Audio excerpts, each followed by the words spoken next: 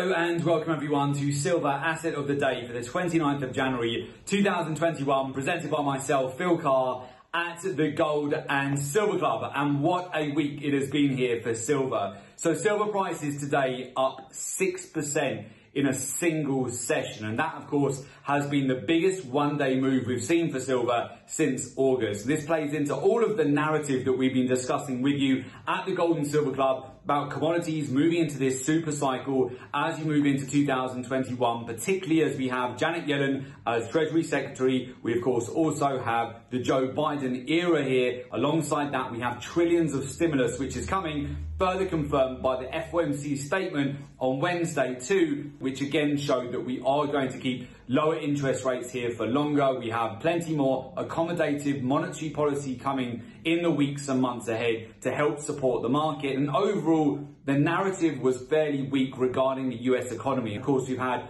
US GDP figures come out today as well, which have essentially been the worst in 74 years.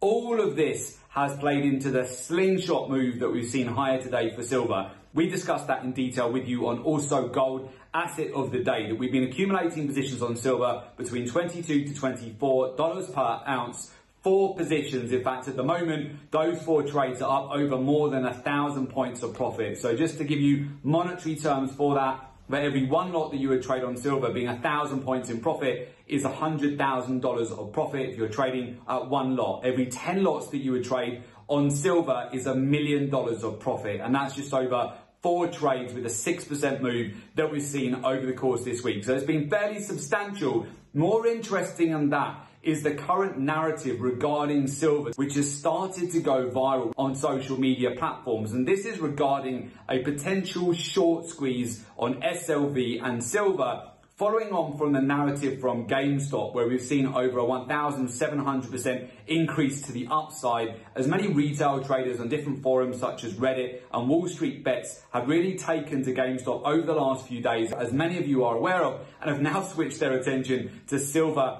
and SLV. And of course, we're not expecting that to be the catalyst here for a breakout on the metals. We didn't really need that to help any additional fuel to the fire here, I know it's on a lot of people's radar at the moment, and we've been certainly sent that multiple times. There's some big players in the market who are keeping an eye on this because there is a massive sell short to be covered on silver. And if we start to see this breakout, take out, for example, the highs from today and start to make a move up to 28, then 30, then we're going to be breaking out to the highest levels in a year. And then, of course, if we can take out $30 per ounce, this is where silver could start to go parabolic and of course plays into the current super cycle that we're seeing at the moment on the commodities market. So you absolutely need to have silver on the radar at the moment after the 6% move today. The dollar today also broke back down and so did the gold silver ratio. So we mentioned to you previously that this is a perfect scenario. What you want to see for further upside on the metals right now is the gold to silver ratio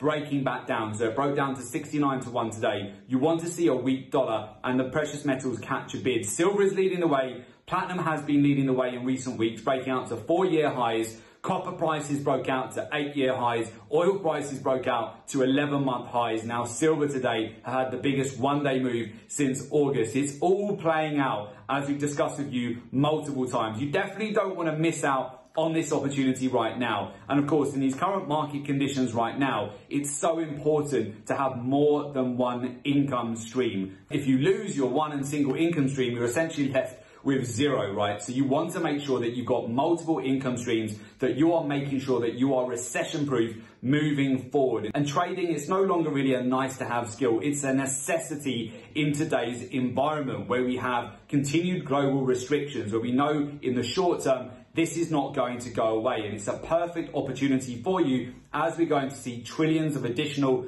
quantitative easing and money printing around the world in the weeks and months and years to come here to support the global economies that have been affected by the pandemic, this is ultimately going to provide that catalyst for the commodities super cycle that you do not want to miss out on. But again, it does all come down to timing. Unfortunately, a lot of retail traders, they continue to panic sell, get liquidated. The sentiment has been really negative over the last few weeks here for the metals, especially at the start of this week and last week. So traders they throw in the towel just as silver is about to have a 6% move to the upside. They liquidate expecting lower prices, or worse still, they're using outdated technical strategies. They go for a sell short just as silver slingshots higher. As many of you know, we've continued to talk you through the stacking process that we're utilizing with the Of course, always being nimble with that, making sure when you have these big breakouts that you do take some profit, reload at the lows, and this provides you a fantastic opportunity for trading and trading the right way. You do not want to be using gimmicky, outdated indicators or technical strategies, which quite frankly do not work in today's market conditions. If you find that you keep buying at the top or selling at the low, it's likely because you're using